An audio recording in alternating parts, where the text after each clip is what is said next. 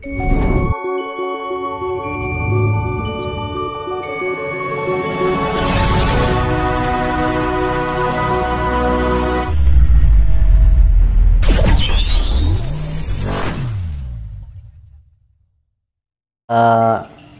Jawa termasuk Nusantara itu termasuk daerah yang berkelimpahan air kan ngono Pak.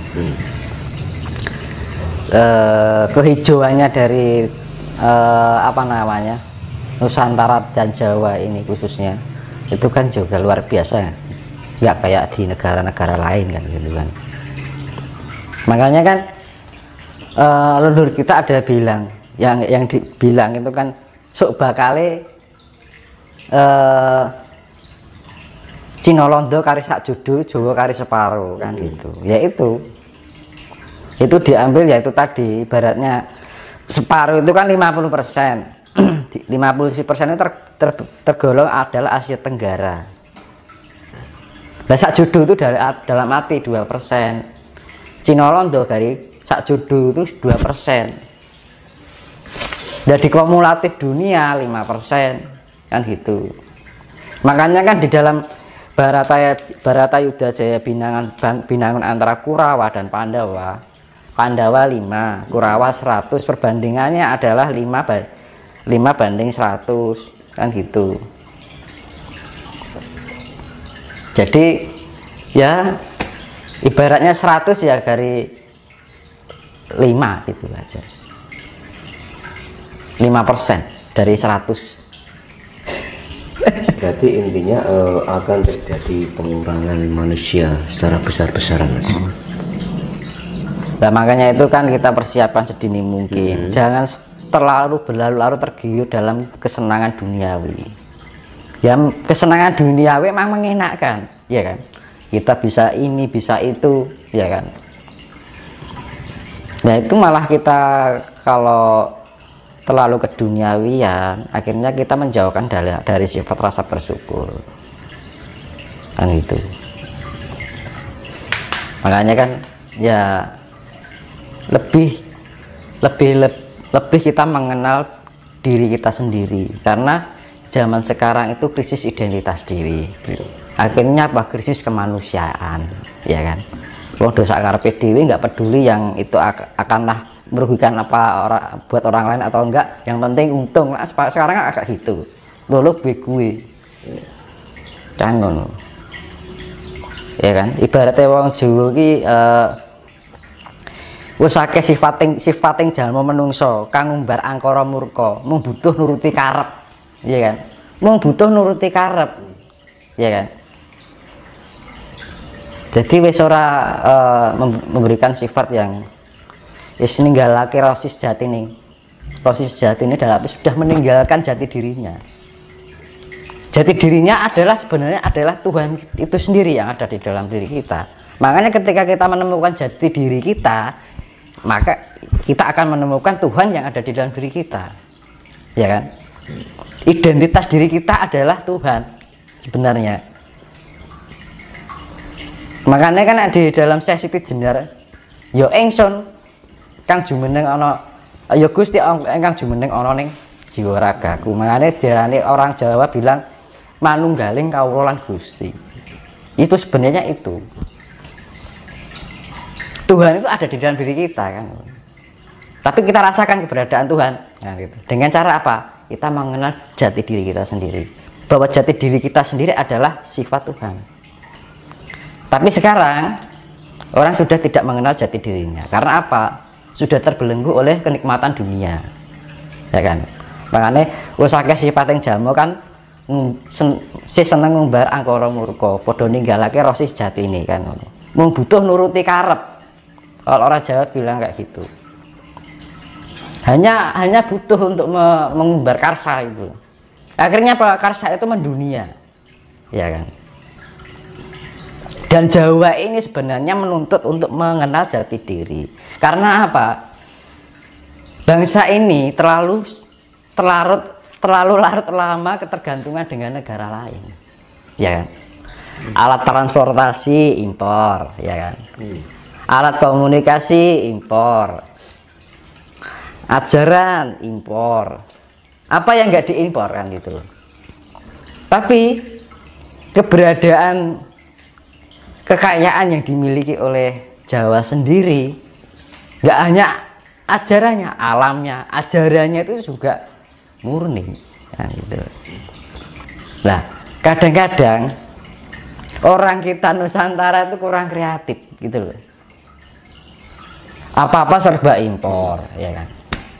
Jadi terlalu lama larut dengan ketergantungan dengan negara lain. Eh, penduduk atau umat Nusantara ini kehilangan jati dirinya sebagai orang Nusantara. Tidak hanya dari level sudra level raja-raja dalam arti petinggi negara ini wis orang gagas itu. Nggak nggak nggak nggak peduli dengan jati diri Nusantara. Katanya ingin menjadi suatu negara yang harus menjadi ada di dunia. Sekarang gini ya nggak usah jauh-jauh kita berpikir tentang kejayaan Nusantara. Asal usul Nusantara aja dilupakan kok. Nggak usah asal usul dulu asal usul diri aja loh nggak tahu gimana akan memperbesar Nusantara. Kan sepele. Nggak usah kita terlalu berpikir jauh karena apa? Kriteria Nusantara yang sebenarnya ketika manusianya itu mengenal jati dirinya. Begitu juga mengenal jati diri Nusantara berbagai budayanya dan kekayaan alamnya. Apa kita sudah membangun ini sudah cukup selesai? Enggak. Kan no, iya kan? Di pesan saya sih kita lebih eling dan waspodo ya kan? Dibilang eling dan waspodo itu kan eling karo pangucape ya kan? Eling dengan pikiran apa yang kita pikirkan eling dengan apa yang kita rasakan ya kan? Kita harus menjadi pribadi yang mempunyai sifat-sifat Tuhan. Jadi harus sifat Tuhan itu include di dalam diri kita.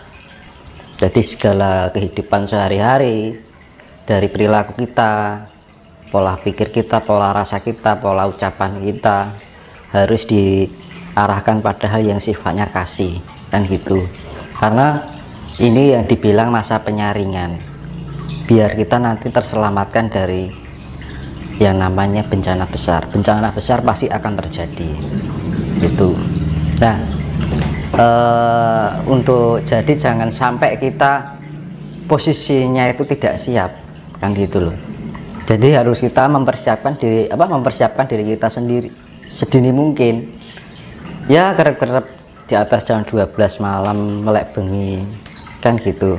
Kalau kita ya saya bilang tadi heneng henung hening ya kan? Diam merenung kemudian hening. Nah, merenung itu apa? Diam itu kan di dalam sebuah ketenangan di dalam keheningan gitu kan. Terus henung kita merenungi sering-sering kita komunikasi dengan diri kita sendiri. Nanti kalau kita sering-sering komunikasi dengan diri kita sendiri membuat kita itu semakin mengerti. Yang mengerti dengan kondisi kita mengerti dengan perasaan kita mengerti dengan apa yang kita berikan mengerti perilaku kita. Ya kan? Akhirnya apa? Di dalam sifat mengerti itu akan menuntut diri menuntun diri kita di dalam kehidupan sehari-hari. Biar kita menjadi lebih layak untuk dipantaskan di peradaban besok nanti. Karena peradaban besok itu ya namanya zaman kesucian zaman kedamaian. Dan gitu. Suci kan dalam arti harus mempunyai sifat kasih mau. Kalau kita mau uh, yang namanya kita olah spiritual mau ajaran ini ajaran itu kalau kita nggak bisa uh, menerapkan kasih ya percuma. Karena uh, Tuhan yaitu tadi kekuatan power dari alam semesta bahkan du, dunia global semesta ini dari makro sampai mikro itu kuncinya adalah kasih. Gitu. Karena apa ya? Itu tadi kembali kita harus mempunyai sifat memelihara. Pemelihara. Ya apa yang kita pelihara? Pelihara pikiran kita dengan baik pelihara rasa kita dengan baik pelihara perilaku kita kalau kita sudah memelihara itu kita sama aja memelihara diri kita. Nah ketika kita memelihara diri kita kita bagian dari uh, istilahnya memelihara alam semesta ini mewakili gitu kan dari diri kita sendiri. Dan itu harus bisa kalau ini semua terjadi secara global dari semua orang yang di muka bumi ini mempunyai sifat seperti itu maka akan tercipta kedamaian. Tapi salah secara global ini masih antara sifat buruk dengan sifat damai ini masih condong ke buruknya ya nggak akan mungkin tercipta kedamaian. Makanya kan jalan satu-satunya ketika ketika ibaratnya gini kalau bahasa Jawa hamenangi zaman edan ewo hayo ing pambudi jantarane jagat mus pinasti ya kan? Jadi ya hamenangi zaman edan ya zaman gila ini yang gitu. Ewo hayo ing pambudi kita akan berbuat baik aja serba ewo kan gitu kan? Serba canggung kita mau berbuat kebaikan aja sesuatu hal yang aneh di dalam kehidupan kita. Kadang kita ngolah spiritual aja dikira orang gila kan gitu kan? Ya kan kita melakukan pendekatan dengan alam dikira orang stres. Kan gitu loh. Kan aneh gitu kan. Hamenangi zaman edan. Ewo hayo ing pambudi. Jantraning jagat wis pinasti. Kan gitu. Jantraning jagat wis pinasti.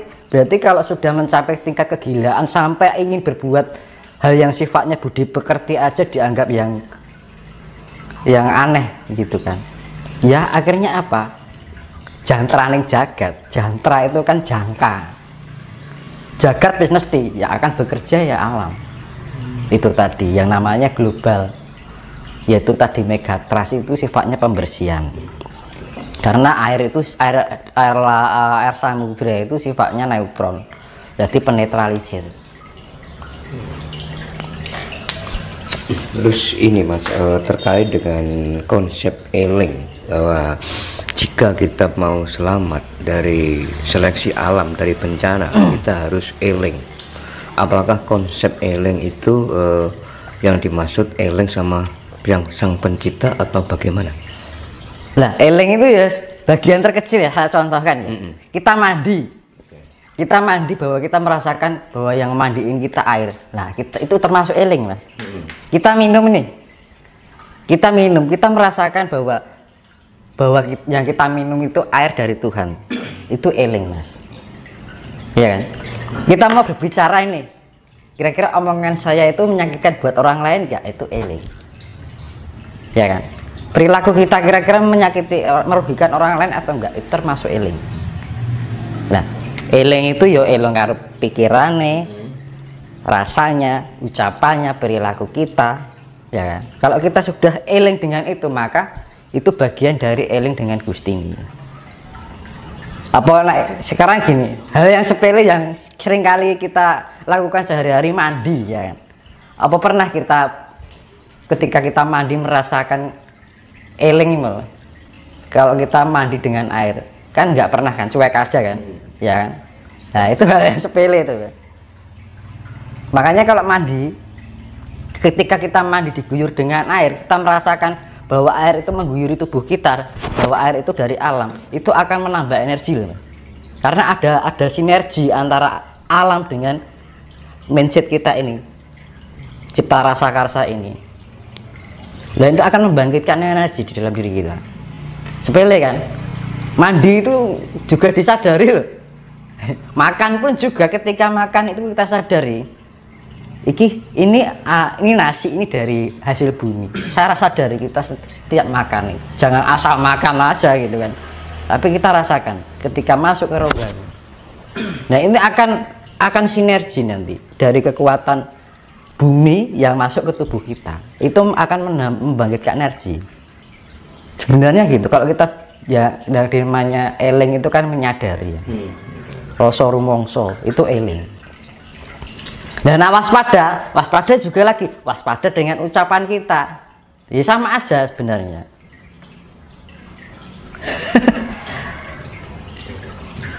Nah, gitu. Karena apa? Ketika kita menyakiti orang lain itu sama saja melukai diri kita sendiri sebenarnya. Karena apa? Hukum imbal balik. Hukum feedback, hukum cermin, ya kan? Kalau kita pantulkan biru ya kembalinya biru. Kalau pantulkan merah kembalinya merah. Ya sama aja.